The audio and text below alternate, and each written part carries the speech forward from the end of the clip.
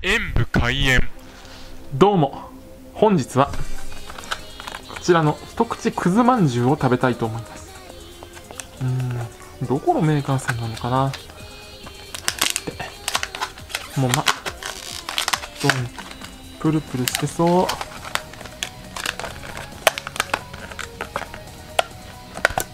ご対面。いいですね。なんか色がではいただきます。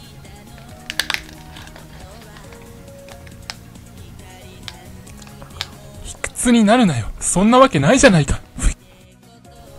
外側の膜はプルプルもっちりで中のあんこはさっぱりとした甘さでとっても美味しかったです。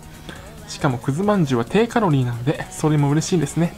まあカロリーは書いてませんでしたがご視聴ありがとうございました。コメントしていただけると嬉しいです。ソコンおよびスマートフォンのアプリの方はクリックをお願いします。